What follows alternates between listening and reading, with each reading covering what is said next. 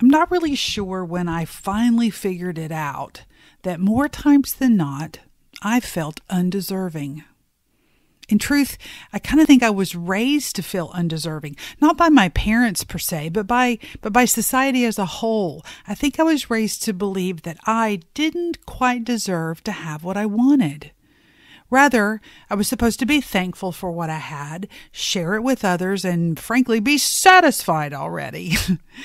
well, none of these thoughts are wrong or bad. In fact, they're admirable and, and definitely they're true. Gratitude for what you have is paramount to being satisfied and attracting more of what you want. But when these beliefs, these beliefs of being undeserving, if they're left unchecked and allowed to be the only thoughts you have, you're left with a sort of resignation, a life that is less than, a life that is not well lived, a life that is maybe lackluster at best miserable at worst.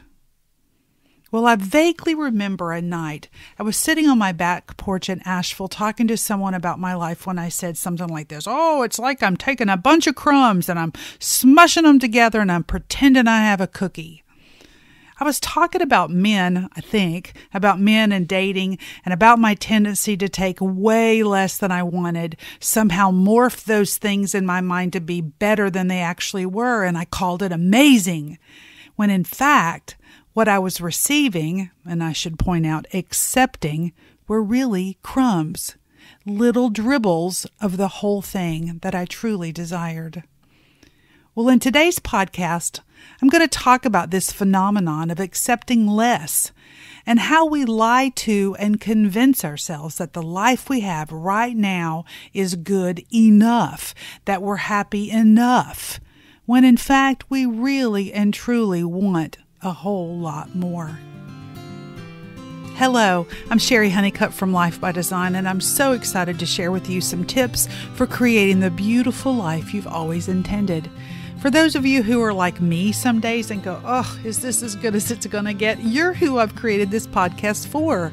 And I promise that what you gain from listening to this 10 to 20 minutes every week is going to work faster than therapy, be more permanent than plastic surgery, and way more satisfying than mindlessly shopping at Target. On this podcast, I talk with you about ways to design your beautiful life, both on the inside and the out. You can learn more about me and my work at cherihoneycutt.com, C H E R I H O N E Y C U T T.com. I've got lots of stuff there for you to see. So for now, grab a cup of coffee or tea or water and let's get started clearing your mind, clearing the clutter, and clearing a path to the life that you've always intended. Well, are you squishing together a bunch of crumbs and calling it a cookie? Another way to look at this is Are there areas in your life that are really unsatisfying, but you're telling yourself that it's okay, that you have plenty, or that you're fine? You see, it's not accepting the what is part that worries me. We all have parts of our lives that we want to be better. We can all say, I want more vacations, or I want more money, or I want better health. And it's fine to be happy with what you have right now while you're crafting a plan to make things better. That's, that's good. That's normal. It's when we have a whole lot less of what we want and we're telling ourselves that we're just fine without it. That's when it makes me worried. Let me give you an example. Let's use relationships as an example. I can't tell you how many friends and clients who come in with a story that their unsatisfying relationship, one that barely meets their needs, is actually just fine. They tell me example after example of where they're not getting their needs met. They tell themselves that they're fine because they shift around the facts. They massage the details, or worse yet, they say something like, Oh, it'll never change and then they settle. I hear this kinds of stories over and over and over. They're resigned to whatever their situation is, and they believe that it's as good as it's gonna get.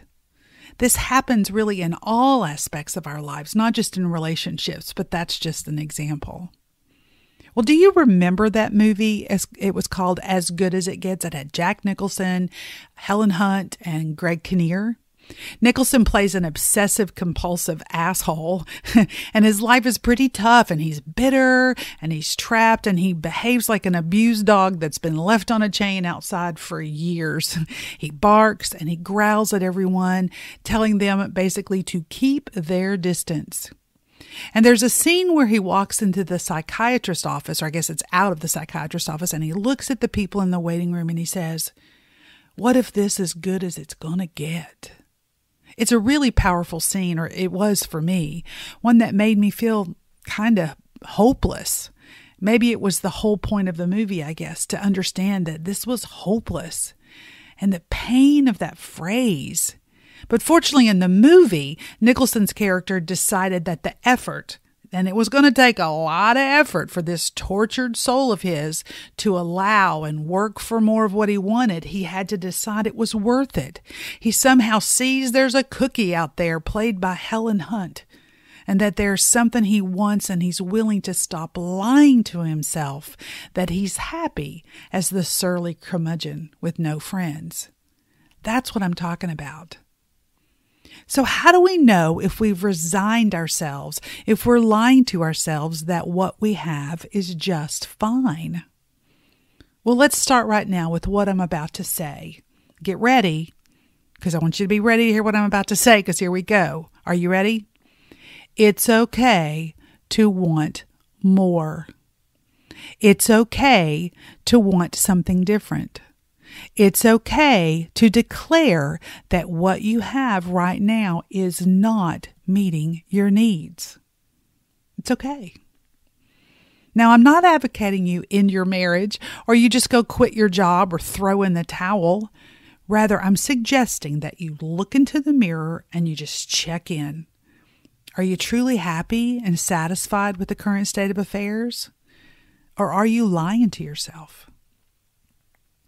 So, back to my story on the back porch and my crumb cookie revelation. Around this same time, I was in a relationship with a man that was, frankly, he was one of my crumbs. and I gained some positive things from our relationship for sure. But in truth, I was amplifying those positive things and completely ignoring the negative. It was a strategy that I think I perfected. It was a lie. Anyway, Anyway, ironically, he helped point out how I was doing this very same thing with my story of my ex husband. Gosh, I sure hope neither of these guys listen to this. But anyway, my story. The one that I told myself, the one that I told myself and the world was that my ex husband was an amazing father, a devoted and wonderful man. I was so committed to having an ex husband that was awesome that it prevented me from seeing the times, which were more than I really wanted to see, where he was not so hot. Times where his needs superseded mine, which was a lot. Times where he stonewalled me when I was trying to work on some issue with the kids. Times where he was rude and cruel. I would let those slide. No, no, I wouldn't even let him slide, y'all. I wouldn't even see them sometimes. I wouldn't even see those things because they were counter to the story that I had in my mind. My story and my goal were to, and I quote, have the best divorce ever. I wanted to be the person who could get a divorce but be the best at it. and I don't know where this came from, but that was what I wanted. However, to do this, I had to lie to myself. I had to quit telling myself that my ex husband was a cookie. In fact, he was a crumb, and he was throwing me a bunch of crumbs. I was taking crumb and calling it a cookie. Now, my friends knew they were crumbs. They knew that my ex husband was throwing me crumbs, but I didn't. That is until one day this other man, remember the other crumb I was telling you about?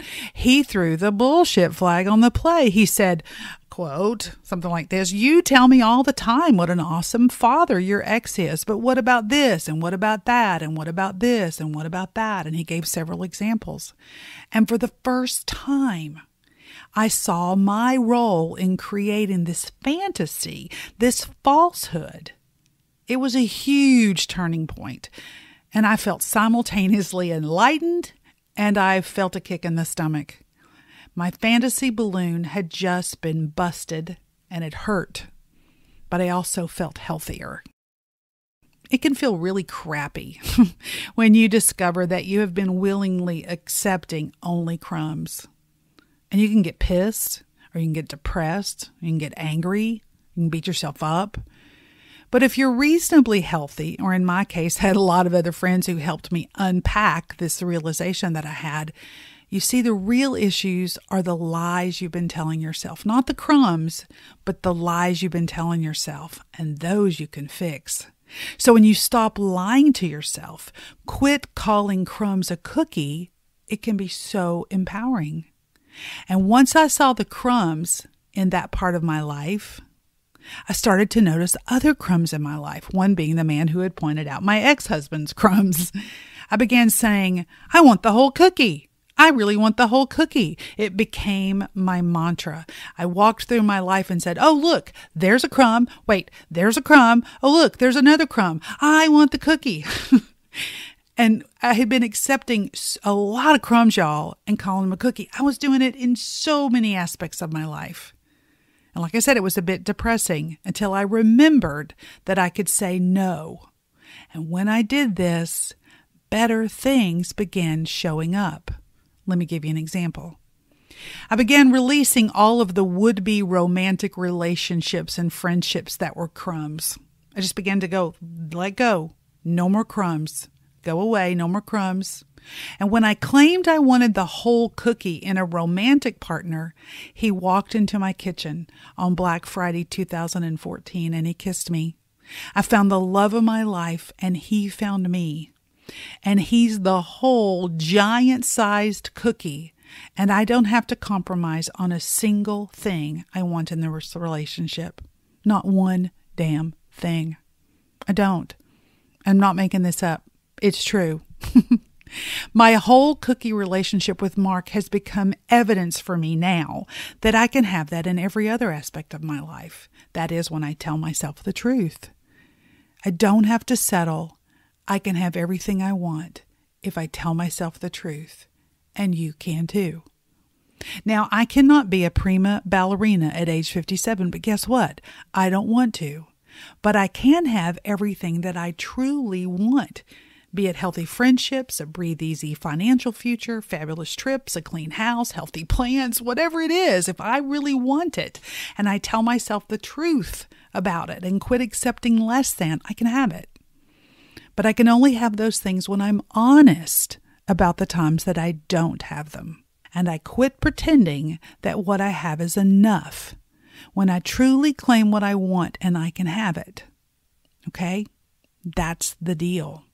And it begins when I claim that I want the whole cookie.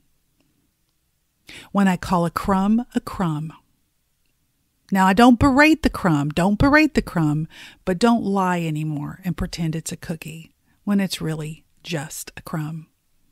Well, I'm asking you, are you ready to design a whole cookie life? Are you ready to have the whole damn cookie? I sure hope so. Thank you so much for taking the time to listen today. And I sure hope you found a pearl or two to help you start living a whole cookie life right now, something to help you create a more beautiful life. And I hope you're subscribed so that this podcast will come right to you. I'd like to point out that the next couple of episodes, the next couple of episodes will continue on this theme of deserving and not settling. So I hope you'll stay in touch. Specifically, I'd like to invite you to go to my website, cherihoneycutt.com, and do two things. First, download your Ideal Life Starter Kit. I've got a guided meditation as well as a couple of other tools that will help you do both a bird's eye view of your life and know exactly how to get started. All you have to do is go to cherihoneycutt.com and click on Get Started Now.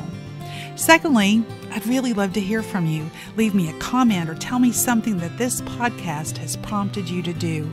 I would really love to hear that. I can't wait to hear from you. And finally, please pass me around. so tell your friends to give me a listen. Let other people know about this little podcast that I've started. That helps me do more of what I love to do, more of what makes my heart sing. But lastly, I want to leave you with this. I want you to always remember you can have a beautiful life. You can. You just have to clear your mind, clear your clutter, so you can clear a path to the life that you've always intended. Until next time.